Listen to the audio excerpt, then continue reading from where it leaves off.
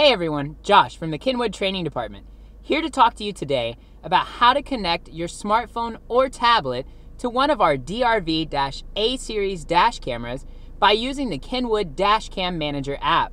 Let's dig into it and see how this connection process works. In today's example, I'm going to be using a DRV-A501W.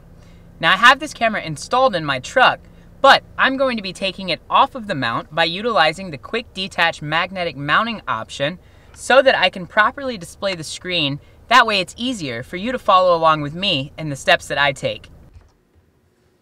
First things first, you want to make sure to download the Kenwood Dashcam Manager application to your smartphone or your tablet. Now you can do this inside of the Apple Store or the Google Play Store.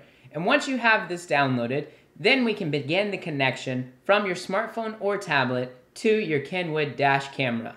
Before we can start the pairing process, we have to make sure that the camera is not in recording mode.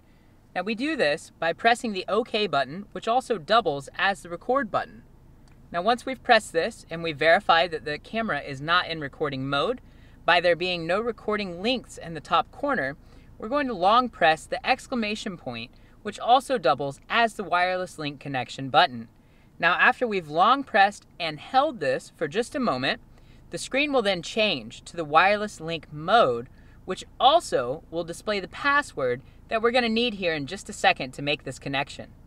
Now once we've downloaded the Kenwood Dashcam Manager application and our wireless dash camera is in wireless link mode, we'll want to open up the Kenwood Dashcam Manager app. At that point, we'll press connect in the bottom right corner, and it'll take us to a screen that says Kenwood Dashcam Manager.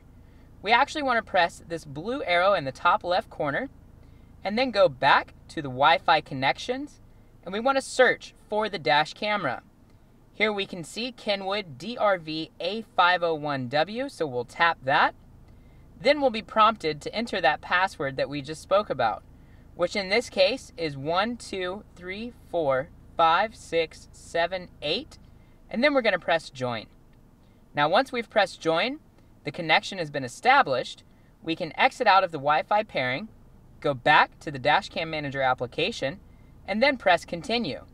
Now I know for this example, we used an iPhone, but I'd like to point out the connection process for an Android device is fairly similar. Now once we've established this connection between our smartphone or tablet and the Kenwood Dash Camera through the Kenwood Dashcam Manager application, it opens up a wide variety of very valuable and resourceful features that we've jam-packed for you inside of this application. Now in the next videos, I'll be talking to you about how beneficial and how to use some of these many great features. So stay tuned and we'll see you on the next one. Thank you. Kenwood.